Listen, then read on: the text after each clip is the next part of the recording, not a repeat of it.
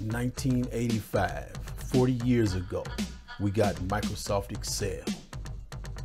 And I want to celebrate Excel in this video. Let's start by reminiscing what was the world like in 1985? Times Square.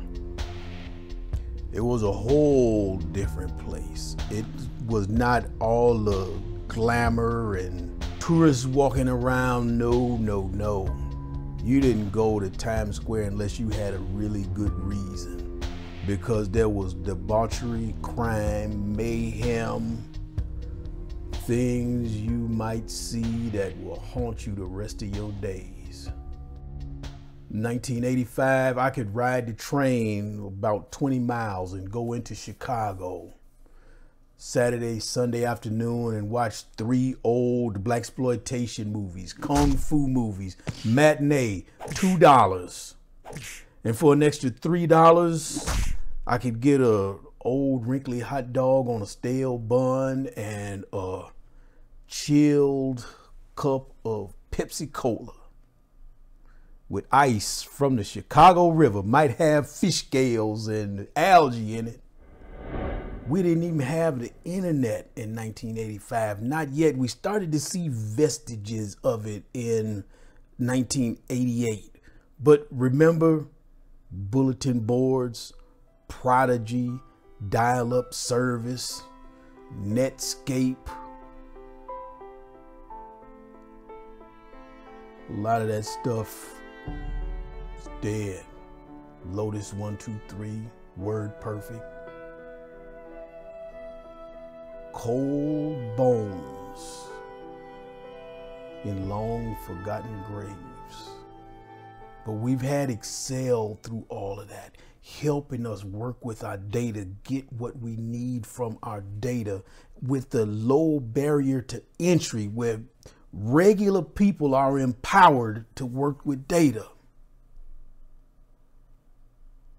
But what else have we had? We've had a 40 year parade of snake oil salesmen, slimy marketers, malcontents, ne'er do wells claiming to have killed Excel. I have the Excel killer finally. Click on this button. Load all your information in. Come behind this paywall. Sign up for this workshop online where I'm going to show you the bloody knife in Excel's dead body. But what happens? You go through all of that, and it's something akin to Geraldo Rivera, 1986, opening Al Capone's vault. And what was in it? Dirt and an old soda bottle. So, what do we learn over 40 years? The next time somebody says they've got the Excel killer, we nod and say, okay, Geraldo. I was asked to show you something that's a favorite of mine in Excel. Let's do that. Here, I'm to take a sip of some Uncle Nearest bourbon. Yeah. Celebration. This is what you do on 40th birthdays. We've got this data. We got parent one and parent two. We've got their children and the children's ages. May and Cole have Enid, Max, and Evan, and we can see that Evan is 17 years old. Pippin and Jason have Dora and Flora, must be twins. They're both 16 and their names rhyme. Well, you know, they probably are twins. What we want is to be able to sort the children's names or their ages. We want to be able to filter and maybe we only want to look at the people who are 13 and above. Maybe we want to sort by the age. Find out the max age, the minimum age. There's so much data that we can get from this, but it's not set up. We can take this into my favorite tool in Excel, Power Query. Something that these snake oil salesmen and malcontents don't have. I'm not to go through all of this, but I'm to show you what I did. Okay, so the first thing we do with this raw data, right click, and then get data from table slash range. But you see over here, I have already done the work. I'm going to go over here, this query I call children split, because what I decided was if I can split these names apart and the ages apart, that's ultimately what I want. But I did it in two separate steps. Children split, ages split. Go over here, children split, double click on this query. Let's look at the beautiful thing over here.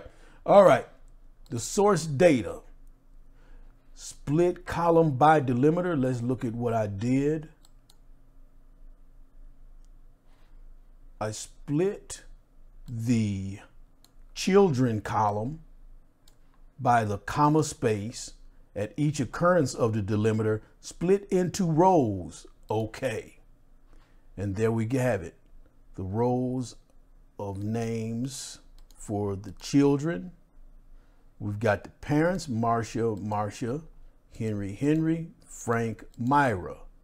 Okay, but now we got to split the ages out. But first, in anticipation of doing one of my favorite things, an outer join, I have an index column so that once I have the ages split query, I can put these together side by side. So row four is James, the single parent who's the parent of Nina and Lawrence. Let's look at the ages split query. Source, split column by delimiter, and in this case, I split the ages. Add an index column, and you go over here. Here's how you do the add index column and you get the choice to start it from zero or one, good.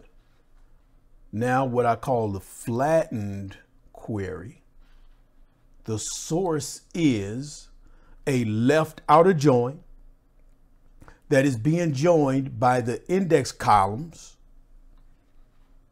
Okay.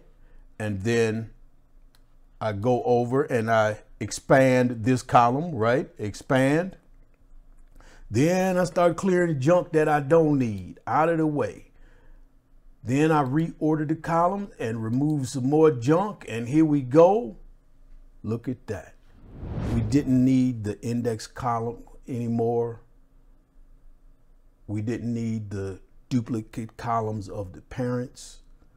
So now we can see Marcia, Henry, Frank. That child, Frank, is 10 years old. Myra is 15 years old. So this is exactly what I wanted. But Power Query is that gift that keeps on giving. I'm to go back to my source data, scroll down. Here is some more data. Bring this into the table. And now Power Query has a lot of cool stuff in it. But here is really what is the truth. The truth is in the data tab, refresh.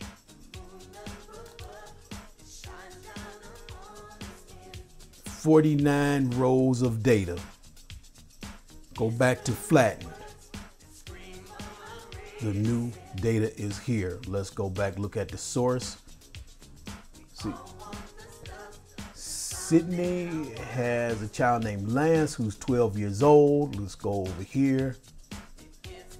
Sydney Lance, 12 years old.